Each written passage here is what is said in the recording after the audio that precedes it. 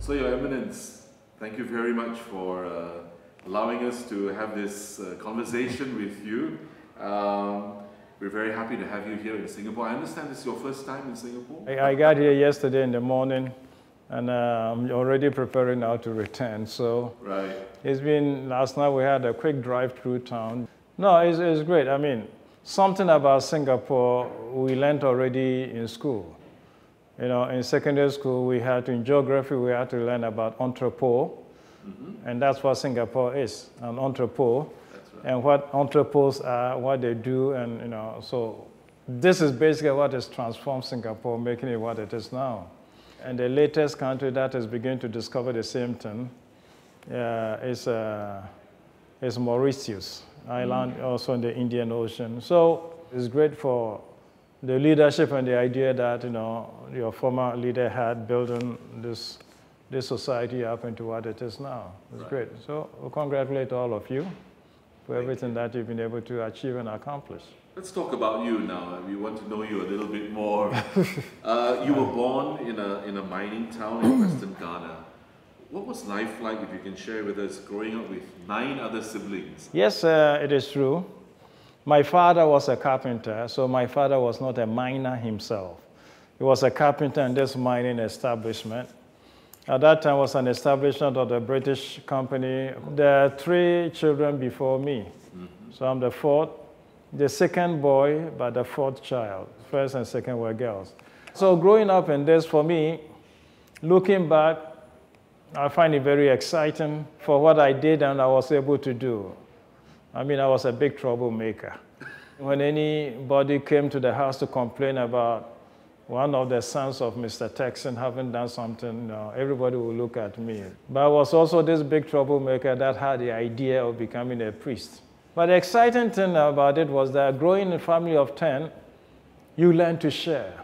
That's the only way you live. Sharing to a point that sometime at one point, four boys growing together, if you, you know, you come and you leave your shirt, next time you come, somebody else is taking it, is going, you leave. So the thing about sharing was what we grew up with. And uh, it was something that, you know, became a natural part of life. But it was also a moment which taught us how to appreciate how parents can make sacrifices for the well-being of their children. I mean, you can imagine my father being a carpenter in the mine. The salary wasn't terribly great. You know, it wasn't a terrible great salary. And with that taking care of 10 kids, these days everybody would probably say it's, it's, it's not possible, but they did it. And my mother, she was a trader, trader in vegetables in the market. So again, that wasn't a skilled job. In fact, both of them were never in school. Neither my father or my mother was ever in school. So, you know, with such simple means, they still took care of 10 of us. And that makes us just feel a lot of admiration and a lot of sacrifices they must have made, you know, to take care of us.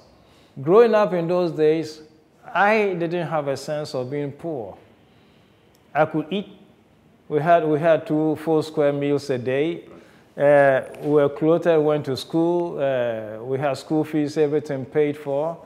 We had uniform, and every year at Easter and Christmas, we could expect a new dress.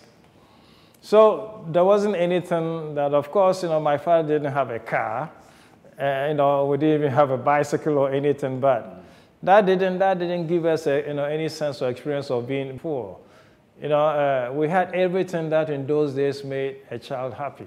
Would you have considered yourself then, with all of the basic needs provided for your life, as a boy growing up was pretty much carefree in that sense. Carefree, but I mean, the differences were there. I mean, my father as a carpenter, in a mining system, you had the senior staff and the junior staff, okay? So in this case, for example, there was a swimming pool. The senior staff had their swimming pool, the junior staff, we had our swimming pool. So that was the difference you felt when the kids like myself going to schools, they're children of senior staff, they come to school, they drop in a car. I walk to school. So you could still see the haves and do not haves, you know, but that didn't bother me. The thing was that that was the beginning of my sense of having addressed a challenge in life. In life, you don't leave anything the same way you meet it. You always have to be able to change something for better. If you can do it, then you make it yourself. So growing up, I made my own toys. Because my father was a carpenter, the tools were there, the saws and the hammer and the, the wood. So I made my sword, I made, I made everything. This is something that I think we miss these days in children growing up. Children get creative, but they get creative in another way. They get creative, you know, playing with instruments. We used to get creative doing it. We used to make our own toys. Certainly, I mean, somebody can say, fine, you made them because the toys were not there. If you had toys, you would not have made them. But again, when we were in school, we started school every morning with an exercise of creativity and thinking. So we had something we call mental. Just mental means that you were supposed to think fast. So you lined up and the teacher comes, 12 times 12, you have to come out with the answer. The calculators have come and they're helping children, of course, do things, but it also made an impact. That exercise of brain, there are differences, uh, you know, in life growing up, and I don't regret my childhood. There's nothing that I feel sorry or sad about.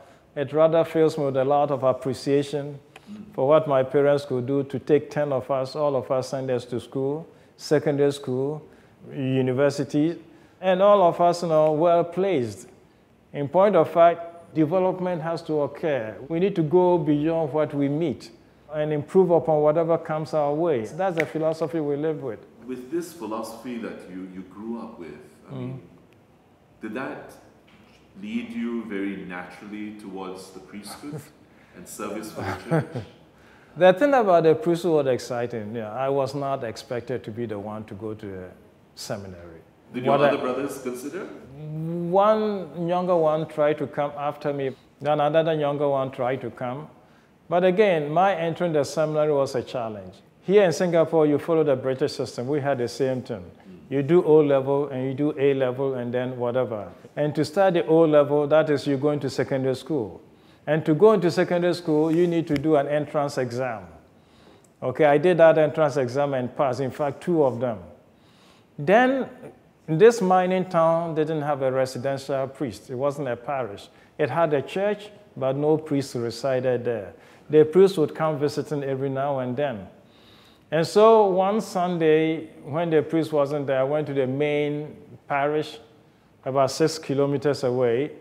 And there on the bulletin board, I saw an advert about people who want to become priests. And I wrote the address in my palm of my hand, and I came home and I wrote to the priest, and the priest came and visited to see who this boy is. I must have been 12 or 13, not terribly old. I was welcome to come to the seminary, my father had a few challenges. He called the whole family and he had me, made my decision known to all. And his last words were, I don't want you to go halfway and come back. If you want to go, you go all the way. I don't want any disgrace in the family, all of those things.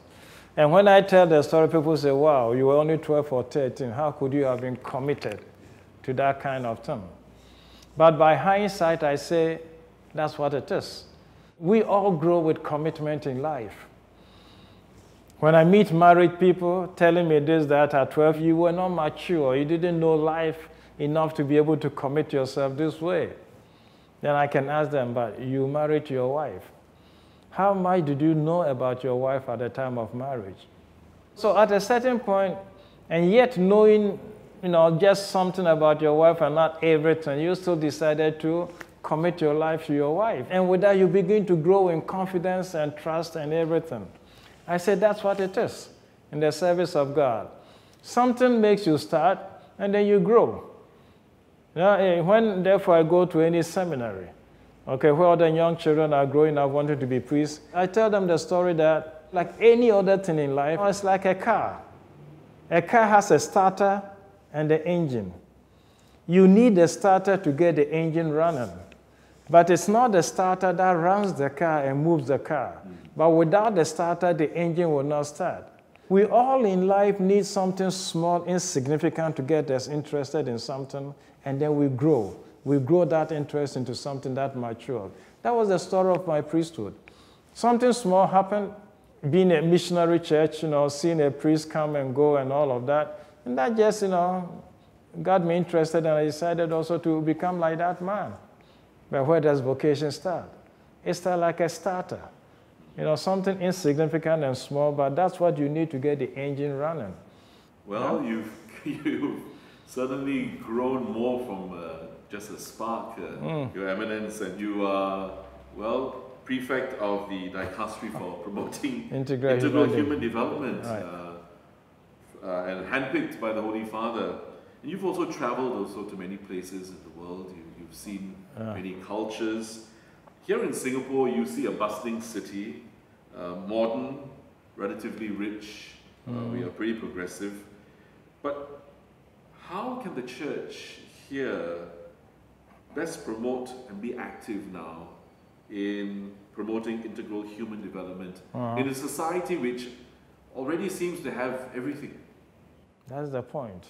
Seems to have everything is the point. So let me come to your question by referring to another experience. Our office just organized in the, in the Vatican in Rome a small conference on impact investing, social impact investing. It was a conference that brought a lot of investors together. Okay, venture capital investments, philanthropists, a blend, pension fund operators, all kinds of people brought in. Then, the, you know, we organized it with the Catholic Relief Services of the United States. And the idea was, you know, impact investing to promote integral human development. From the point of view of our office, this was uh, an attempt to find out how social impact investing can make capital available for local bishops or whatever mission, whatever type of thing to grow, okay, or to develop their structures in parishes or whatever. Uh, it was for us an attempt to have local community leaders or church leaders make a transition from dependence on grants and donations to a more business model of, of, of, you know, of you know, going for money, okay, which you have to pay back, but you use promoting whatever. Just that as impact investing, the capital or the interest is not as great as you go to a bank. You've come and we've done this seminar or conference about impact investing to promote integral human development. Now, integral human development draws attention to the fact that the human being, being by nature, body and soul, matter and spirit, cannot limit development only to the matter, the body. Development must also take care of the spirit, your transcendent, your soul, religion, culture, and all of those. And so that is the point. The tendency sometimes is to limit development only to one side, the one which you see. On the other side, hardly developed. The human person has a spirit that always yearns to grow, to reach out towards the transcendence. Sometimes that is not taken care of much. So at the end of this, I said, You have come with impact investing to help us. But it is time at the end of this to see you as an investor. What is your own level of integral human development? That means you are an investor, so you have the money. But what about culture? What about religion? What about faith? What about this and that and that? So, so you've come to promote integral human development, but how integrally developed are you yourself? So that is a question about what you said about Singapore. Thank God the vision was obtained to develop your strategic position as an entrepreneur city and it's been developed very well. It's attracted a lot of business people from outside, but the tendency and the temptation is always there. And Pope Francis talks about this. He says that money should serve the human person, the human person should not serve money. The tendency is that we just go after accumulation and acquisition of wealth, forgetting that you know we are human beings. We, we, there's a sense of dignity you know, within us, creating the image and likeness of that needs to be nurtured. So that temptation is always there. And in fact, this temptation is there for the rich also as for the poor. The poor person also wanting to get rich sometimes also forgets that there is this other dimension in his life, and it's all wealth, wealth, wealth, wealth. The message of integral human development is not only for the poor, it's also for the rich. You want to help the poor live with dignity. But the other component, again, is to recognize that there is this other spiritual character within him, so that must also be developed. And so, this is integral human development. Therefore, it's not just affluence, it's not just wealth, it's not just money. Okay? Uh, we need to respect the grammar of our nature. And the grammar of our nature, like any language, without the grammar, you don't speak the language well. If you respect the grammar of our nature, that just means that we are created out of the earth, but God breathed into us the breath of life. And that's why we are human beings. So while we promote the earth, let us also promote the breath that God breathed into us. So you're saying it is not just, uh, you know, the, those who, with, who are wealthy and who have money, but even those who are less well off, who can be part of uh, ensuring and promoting integral human development. It's an invitation to all of us, the rich and the poor. Already in the plane coming here, the advert in the plane at a song at a certain point has a group of Singaporeans singing a song. And it has the different components of this society all coming together. And so for the visitor coming to Singapore, he's already introduced to what life in Singapore is. This is the community. There's a concrete policy of government to promote all of these diversity, not to miss any culture in the process, so to enrich the community with diversity. This is unique. Several places do not discover how to enrich a community with diversity. Several places think that it is all integration, and the integration sometimes makes you lose a particular aspect of. So here, the encouragement of diversity to enrich the, you know, the culture and the country is a commendable thing. So what you ask me about you know, Singapore, I just want to invite them to be human. To be human, to be true to their human nature. And being true to your human nature is being recognized and recognize what you are as a human being. A true sense of a human, you know, a human person is the ultimate guide to everything that you, know, you do. You bear a dignity that was given you by God. The dignity of the human person is not given by a court of law, it's not given by the United Nations. It's given by the fact that you were created in the image and likeness of God. That is the source of your dignity. And if this is the source of your dignity, promoting dignity, which is the ultimate sense of development, means therefore that we discover who we are and we promote every aspect of this. God said this years ago. In the book of Deuteronomy, chapter 8, this was when God was bringing Israel into the promised land. God gave them a warning. The land in which you are to enter, you get a lot of gold, you get a lot of oil, iron, whatever, you get all the treasures from the rocks, and you grow and the abundance will come. But be careful that these abundance do not lead you to forget the Lord your God. That is the basic thing of all humanity. The gifts that God bestows on us can sometimes lead us to forget the Lord who is giving us these gifts. I can say this to Ghana, I can say this to any poor, but I can say it also Singapore, United States, wherever we go, because the human being is one, essentially the same. And that with the dignity that comes from God, ours is to protect this dignity and make it develop in every aspect of our lives, materially, economically, politically, socially, religiously, transcendental, all aspects must be developed, and that's the business of our office promoting integral human development. What is your personal prayer for the church and the people of God today? I think the basic, the, the basic prayer, which I myself will probably pray every day.